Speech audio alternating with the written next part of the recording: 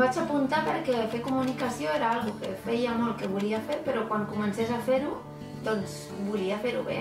Tot i que ja treballo en un departament de comunicació amb un centre de recerca, volia atrevir-me amb coses noves i diferents i crec que ho he aconseguit i he aconseguit enlairar-me.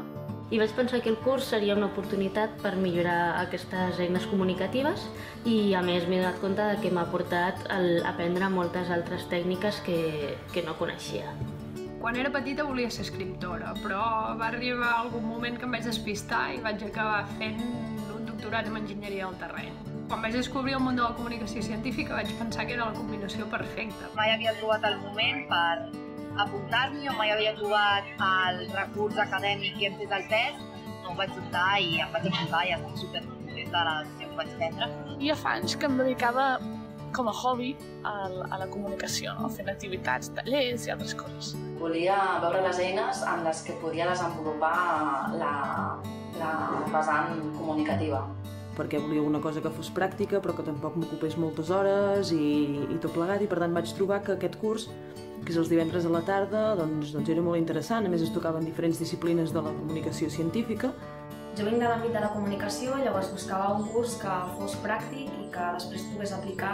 Perquè sempre havia tingut interès per, per la comunicació científica i bueno, jo la meva feina és professor i volia fer un apropament una mica més seriós. Pues quería pasar de la afición a la profesionalización en el ámbito de la comunicación científica.